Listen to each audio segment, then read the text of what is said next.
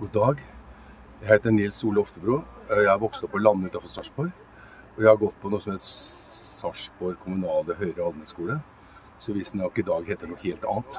Men der gikk altså jeg sitter. Frem til 1963. Og den gangen så hadde jeg en gammel gymsal som jeg tror er revet nå. Som lukta altså så svett at på varme dager så er det vanskelig å gå inn av gym, for å si det sånn. Og eh, det var røykekrok ute i gården for de som var russ. Jeg tror ikke det er det lenger. Og eh, jeg hadde det veldig fint på gymnaset. Jeg syns jeg lærte mye. Jeg var med i Gymnassamfunnet, tror jeg det het. Og tegnet i aviser her. Var avistegner for Gymnassamfunnet. Og eh, jeg eh, gjorde første steg på skuespillerkarrieren. Det gjorde jeg på gymnaset.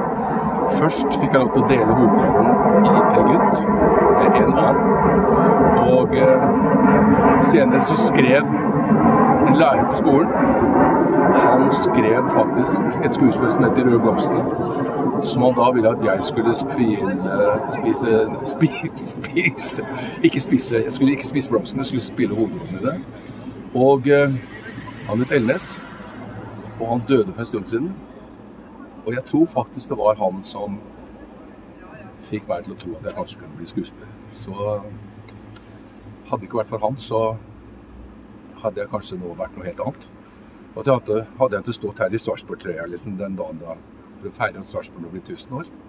Så gratulerer med skolen, og gratulerer med byen, og ha et flott år.